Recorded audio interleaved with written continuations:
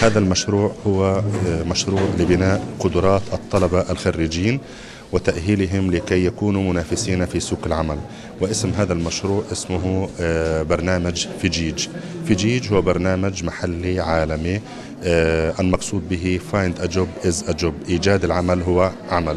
يأتي هذا المشروع في إطار الشراكة التي عقدتها جامعة فلسطين التقنية خضوري مع مؤسسات القطاع الأهلي ومؤسسات القطاع الخاص لتمكين طلبة الخضوري لكي يكونوا منافسين في سوق العمل. نحن نؤمن في جامعة خضوري أنه لا يكفي أن يكون الطالب الخريج من الجامعة يحمل درجة البكالوريوس في أي تخصص.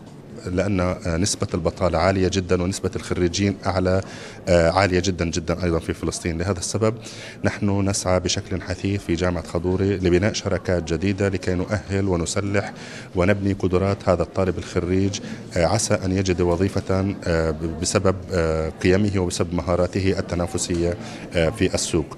المؤسسة الراعية لهذا المشروع هي المؤسسة الفلسطينية للتعليم من أجل التوظيف وهي الشريكة في هذا المشروع. وتتبنى هذا المشروع.